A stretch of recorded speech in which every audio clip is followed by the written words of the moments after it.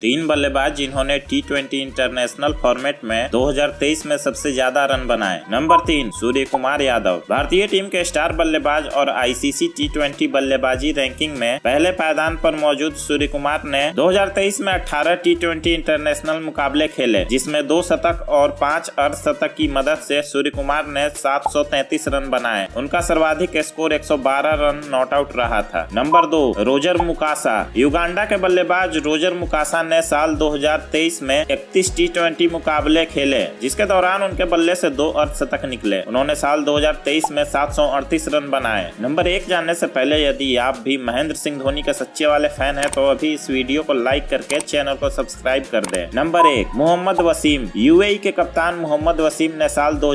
में T international में सबसे ज्यादा रन बनाए हैं उन्होंने तेईस मुकाबले में सात अर्धशतक की मदद से आठ रन बनाए हैं